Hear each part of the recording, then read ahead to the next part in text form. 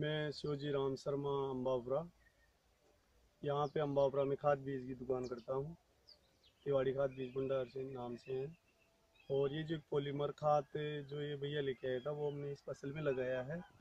और इसका रिज़ल्ट बहुत अच्छा है। इसमें फल फूल की भी अच्छी बढ़ोतरी हुई है।